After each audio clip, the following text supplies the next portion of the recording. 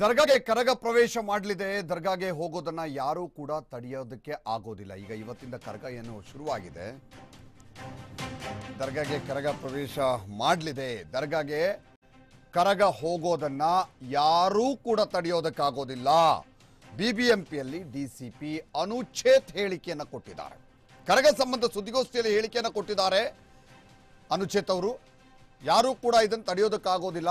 ದರ್ಗಾಗೆ ಹೋಗೋ ಕರಗ ತಡೆದ್ರೆ ಕಠಿಣ ಕ್ರಮವನ್ನು ತೆಗೆದುಕೊಳ್ಳಾಗತ್ತೆ.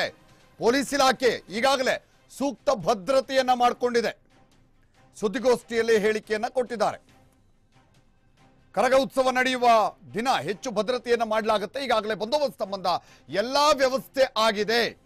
ನಾನೂರ ಐವತ್ತು ಪೊಲೀಸ್ ಸಿಬ್ಬಂದಿಯನ್ನ ಏಪ್ರಿಲ್ ಹದಿನಾರರಂದು ನಿಯೋಜಿಸ್ತೇವೆ ಅಂತ ಹೇಳಿದ್ದಾರೆ. ಎಷ್ಟು ಜನರು ಸೇರ್ತಾರೆ ಅನ್ನೋದನ್ನು ನೋಡಿ ಭದ್ರತೆಯನ್ನ ಹೆಚ್ಚಳ ಮಾಡಲಾಗುತ್ತೆ.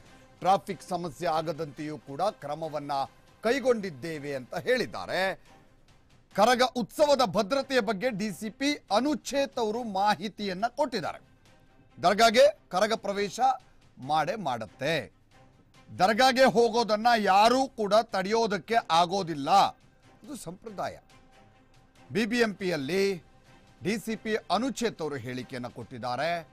ಇವತ್ತು ಸುದ್ದಿಗೋಷ್ಠಿಯನ್ನ ಕೂಡ ಮಾಡಿದ್ರು. ಕರಗ ಸಂಬಂಧ ಸುದ್ದಿಗೋಷ್ಠಿಯನ್ನ ಮಾಡಲಾಗಿತ್ತು. ಈ ಸುದ್ದಿಗೋಷ್ಠಿಯಲ್ಲಿ ಹೇಳಿಕೆಯನ್ನ ಕೊಟ್ಟಿದ್ದಾರೆ.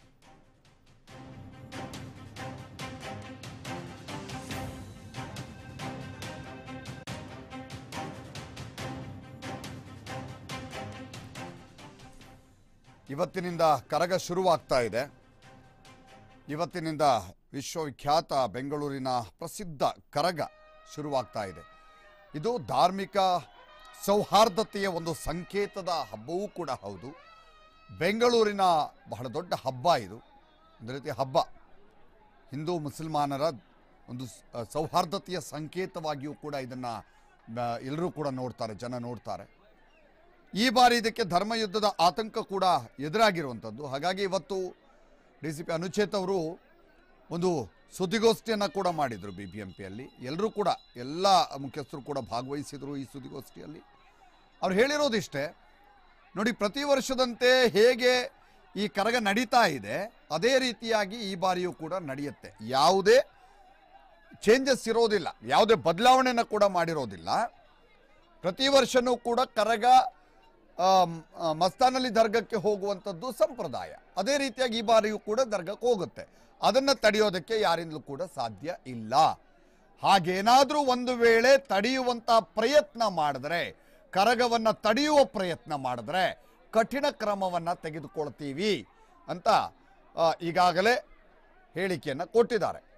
ಸುದ್ದಿಗೋಷ್ಠಿಯಲ್ಲಿ ಹೇಳಿಕೆ ಕೊಟ್ಟಿದ್ದಾರೆ. ಪೊಲೀಸ್ ಇಲಾಖೆ ಈಗಾಗಲೇ ಸೂಕ್ತ ಭದ್ರತೆಯನ್ನು ಕೂಡ ಮಾಡಿಕೊಂಡಿದೆ ಇಷ್ಟೇ ಸಾಧ್ಯ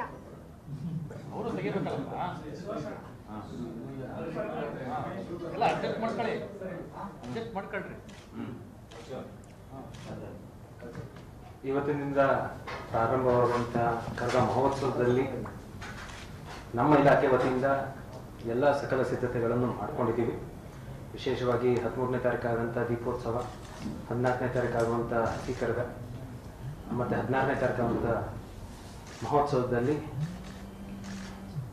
ಜನರ ನಿಯಂತ್ರಣೆ ಟ್ರಾಫಿಕ್ ನಿಯಂತ್ರಣೆ, ಮತ್ತು ಕರಗ ಹೋಗುವಂಥ ಪಥಸಂಚಲನದಲ್ಲಿ ಯಾವ ರೀತಿಯ ಕ್ರಮವನ್ನು ಜರುಗಿಸ್ಬೇಕು ಅದನ್ನು ಮಾಡ್ತಾ ಇದ್ದೀವಿ ಅದೇ ನಿಟ್ಟಿನಲ್ಲಿ ಉತ್ಸವ ಸಮಿತಿಯವರು ಅವರ ನಿಲುವೇನಿದೆ, ಅದರ ಪ್ರಕಾರ ಯಾವ ಕಾರ್ಯಗಳಾಗಬೇಕಾಗಿದೆ ಅದಕ್ಕೆ ಸೂಕ್ತ ಬಂದೋಬಸ್ತನ್ನು ಕೊಡೋಕ್ಕೆ ನಾವು ಬದ್ಧರಾಗಿದ್ದೀವಿ.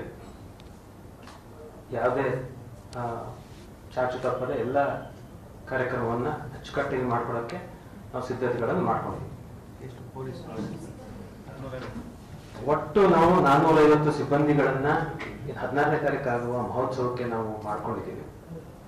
ಆ, ಆದರೆ ಹದಿಮೂರನೇ ತಾರೀಕು ಹದಿನಾಲ್ಕನೇ ತಾರೀಕು ಮತ್ತೆ ಕೊನೆ ದಿವಸ ಆಗೋದು ಕೂಡ ಅದಕ್ಕೆ ಆ ಜನರ ಏನು ಸೇರೋ ನಿರೀಕ್ಷೆ ಮೇರೆಗೆ ನಾವು ಅಧಿಕಾರಿ ಮತ್ತು ಸಿಬ್ಬಂದಿಗಳನ್ನು ಆಯಾ ದಿವಸಕ್ಕೆ ಮಾಡ್ಕೊಂಡಿದ್ದೀವಿ ಮತ್ತೆ ಹದಿನಾರನೇ ತಾರೀಕಿಗೆ ನಾವು ಸುಮಾರು ಮೂವತ್ತೆಂಟು ಅಧಿಕಾರಿಗಳು ನಾನೂರ ನಾನ್ನೂರ ಇಪ್ಪತ್ತು ಸಿಬ್ಬಂದಿಗಳು ನಾನ್ನೂರ ಐವತ್ತೆಂಟು ಇದನ್ನ ಮಾಡ್ಕೊಂಡು ಅದಲ್ಲದೆ ವಿಶೇಷವಾದಂಥ ಕೆ ಎಸ್ ಆರ್ ಪಿ ತುಕಡಿಗಳು ಮತ್ತೆ ಅಗತ್ಯವಾದಂತಹ ಲೈಟಿಂಗ್ ವ್ಯವಸ್ಥೆ ಸಿ ಸಿ ಟಿ ವ್ಯವಸ್ಥೆಗಳನ್ನು ಕೂಡ ಮಾಡ್ಬೋದು ಸರ್ ಪ್ರಮುಖವಾಗಿ ಟ್ರಾಫಿಕ್ ಆಗಿರುತ್ತೆ ರೂಟು ಸೊ ಟ್ರಾಫಿಕ್ ಸಂಬಂಧ ನಾವು ಒಂದು ನೋಟಿಫಿಕೇಶನ್ ಅನ್ನು ಹೊರಡಿಸ್ತಾ ಇದ್ದೀವಿ.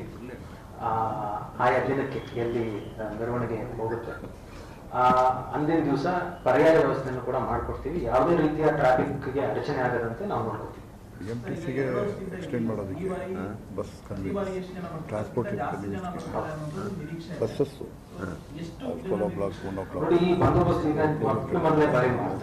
ಕೇಳಿಲ್ಲ. ಹಲವಾರು ಅವಾಗ್ಲೂ ಕೂಡ ಹಿಂಗೆ ಪರಂಪರೆಯಾಗಿ ಮಾಡ್ಕೊಂಡು ಬಂದಿದ್ರು ಆ ರೀತಿ ಮಾಡ್ಕೊಂಡು ಬಂದಿದ್ದಾರೆ. ನಮಗೆ ಈ ಇಷ್ಟು ಜನ ಏನಂದ್ರೆ ಅಂದಾಜು ಬರ್ತಾರೆ ಅಂತ ನಮ್ಗೆ ನಿರೀಕ್ಷೆ ಇದೆ. ಆ, ಅದನ್ನ ಬೇಕಾದಂತ ಸೂಕ್ತ ಬಂದೋಬಸ್ತ ನಾವು ಮಾಡ್ಕೊಂಡಿದ್ದೀವಿ.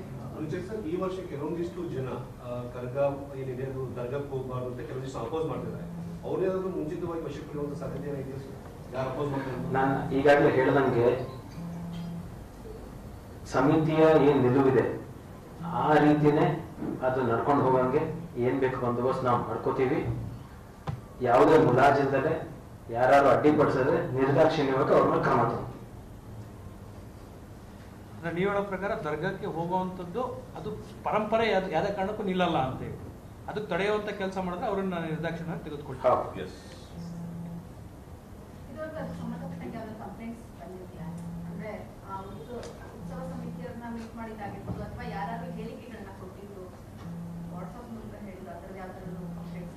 ಇಲ್ಲ ನಮ್ಮ ಗಮನಕ್ಕೆ ಯಾವುದು ಬಂದಿಲ್ಲ.